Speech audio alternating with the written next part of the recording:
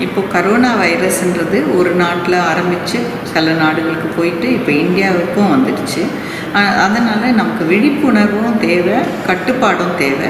இந்த வைரஸை நம்ம விழிப்புணர்வோட கட்டுப்பாடுகள் எல்லாம் கடைபிடித்து ஆஹ், வதந்திகளும் தேவையில்லாத பீதியெல்லாம் நம்ம தவிர்த்துட்டு இருந்தோம்னா இந்த வைரஸ் ஒரு சில வாரங்கள்லேயே இந்த ஊரை விட்டே ஒழிச்சிடலாம்.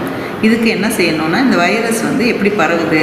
நம்ம சுவாச வழியாக நமக்கு இருமல் தும்மல் பேசும்போது பெரிய பெரிய பார்ட்டிகல்ஸ் ஏர் ட்ராப்லெட்ஸ் வழியாக இது பரவும். அதனால் மாஸ்க் கட்டிட்டு இப்போ வெளியெல்லாம் போனோம்னா நம்ம மாஸ்க் கட்டிக்கணுன்றது இப்போ ஒரு முக்கியமான ஒரு விஷயமாக இருக்கும். அதே மாதிரி இந்த திரவங்கள் வந்து எங்கேயாவது படிஞ்சு டேபிளில் சேரில் பொருட்களில் படிஞ்சிச்சுன்னா நம்ம கை அங்கே பட்டு அப்புறம் நம்ம முகத்துக்கு எடுத்துகிட்டு போனோம்னா நம்ம மூக்கு வாய் கண் வழியாக போகிறதுக்கு வாய்ப்பு இருக்குது அதனால் அனாவசியமாக கைகளை அங்கே இங்கேன்னு தொடக்கூடாது. மூன்றாவது கைகளை அடிக்கடி கழுவிடணும். இதை தவிர எந்த பயமும் வேண்டாம். அதனால் இப்போ ஊரடங்கு உத்தரவு இதனால் போட்டு எல்லாரையும் அவங்கவுங்க வீட்டிலேயே பாதுகாப்பாக சில வாரங்கள் இருங்கன்னு சொல்லியாச்சு. அதனால் அந்த வீட்டில் இருந்துட்டு வெளியே அனாவசியமாக போகாதீங்க. அவசியமாக இருக்கிற போ இருக்கிற பட்சத்தில் ஒரே ஒரு இண்டிவிஜுவல் ஒரு ஆரோக்கியமான இருக்கிற நபர் வந்து வெளியே போய் பொருட்களை வாங்கிட்டு வரணும். அவங்களும் அனாவசியமாக போகக்கூடாது. சில பொருட்களை ஒரு வாரம் பத்து நாள் வாங்கிக்கலான்னா அது வாங்கிட்டு வரணும். அப்போ சில முறைகள் அவங்க போகிறத தவிர்க்கவும் முடியும்.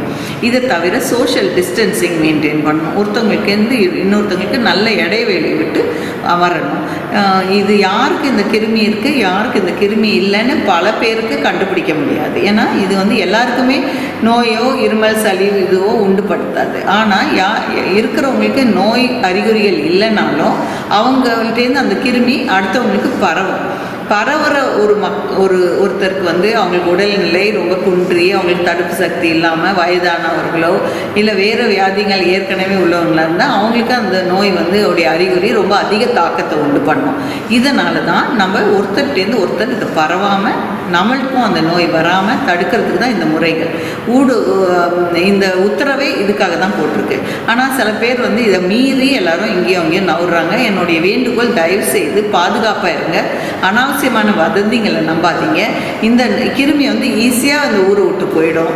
நீங்கள் ஜஸ்ட்டு கொஞ்சம் என்னென்னலாம் சொல்லப்படுதோ அதை மட்டும் நீங்கள் கடைபிடிச்சுக்குங்க இங்கே கரூர் மருத்துவக் கல்லூரி மருத்துவமனையை பொறுத்த வரைக்கும் இதுக்கு வந்து ஐநூறு பேருக்கு மேலே இந்த கிருமிகள் தாக்கப்பட்டவங்கள நம்ம தனித்தனியாக அறைகளில் வச்சு பாதுகாப்பாக அவங்களுக்கு வேணுங்கிற ட்ரீட்மெண்ட்டு எல்லாமே கொடுக்கறதுக்கு தேவையான மருத்துவர்கள் செவிலியர்கள் துப்புரவு பணியாளர்கள் அவங்களுக்கு வேணுங்கிற இது ப்ரொடெக்ஷனுக்கு உள்ள எல்லா எக்யூப்மெண்ட் மாஸ்க்கு க்ளவுஸு எல்லாமே இருக்குது. பிபிஇ எல்லாமே அவங்களுக்கு இருக்குது அதை தவிர அந்த க- இதுக்கு ட்ரீட்மெண்ட்டுக்கு வேணுங்கிற எல் அனைத்து உபகரணங்களும் இருக்குது வென்டிலேட்டர்ஸ் முதற்கொண்டு எல்லாமே இருக்குது ஆனாலும் அவ்வளோ பேருக்கு தேவைப்படாத அளவுக்கு நீங்கள் கட்டுப்பாடாக இருந்து நோயை பரவ வைக்க வேண்டான்றது என்னுடைய தாழ்மையான வேண்டுகோள். இதுக்கு வந்து எல்லா நோயாளிகளுக்கும் என்னெல்லாம் மருந்துகள் கொடுக்கும் என்னெல்லாம் உணவு கொடுப்போமோ அதே உணவு இந்த இவங்களுக்கு கொடுக்கலாம். அடிக்கடி நாங்கள் வந்து திரவங்கள் ஜூஸு வாட்டர் இந்த மாதிரி நிறையா அவங்களுக்கு லிக்விட் நிறையா அவங்களுக்கு சாப்பிடணும். சாப்பாடு வந்து எந்த ஈஸியாக டைஜஸ்ட் ஆகக்கூடிய சாப்பாடுகள். இதை தான் அவங்களுக்கு நாங்கள் தயார் பண்ணி கொடுத்துட்ருக்கோம். ஃப்ரெஷ்ஷாக தயார் பண்ணி கொடுத்துட்ருக்கோம்.